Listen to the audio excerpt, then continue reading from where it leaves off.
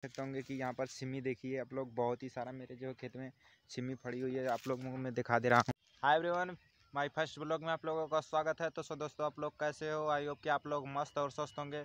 तो सो दोस्तों, मैं आप लोगों को इंटरव्यू दूँ तो मैं आजमगढ़ के एक छोटे से गाँव में रहता हूँ। मेरा नाम है मुन्ना एम जी फाइव तो फ्रेंड्स मैं आप अपने खेत की तरफ़ आया हूँ, देख ही सकते होंगे आप लोग। मेरा खेत में जो है सब कुछ कट चुका है। वहाँ पर देखिए पीछे जो मेरा है, छिमी का पेड़ है। तो फ्रेंड्स, मैं आप लोगों को छिमी और पपाया दिखाऊँगा। तो चलिए मैं आप लोगों को छिमी की तरफ़ लेकर चलता हूँ। तो फ्रेंड्स, चलिए मैं आप लोगों को छिमी की तरफ़ लेकर चलता हूँ।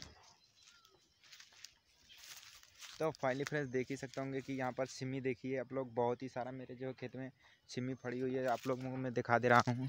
फ्रेंड्स, देखिए यहाँ पर जो यहाँ पर देखिए बहुत ही सारा जो है छिमी फरा हुआ है, आप लोग देख ही सकते होंगे।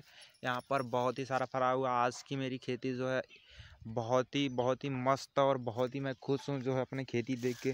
फ्रेंड्स देखिए यहाँ पर बहुत ही सारा जो सिमी फड़ा हुआ है, आप लोग देख ही सकते होंगे।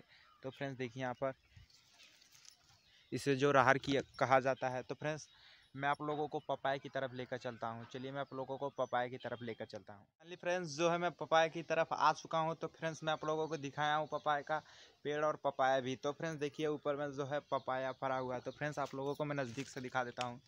फ्रेंड्स देखिए जो मेरा पपाया का पेड़ है। तो फ्रेंड्स वीडियो अगर अच्छा लगा तो प्लीज़ वीडियो को लाइक एंड चैनल को सब्सक्राइब करके एक प्यारा सा कमेंट कर दीजिए।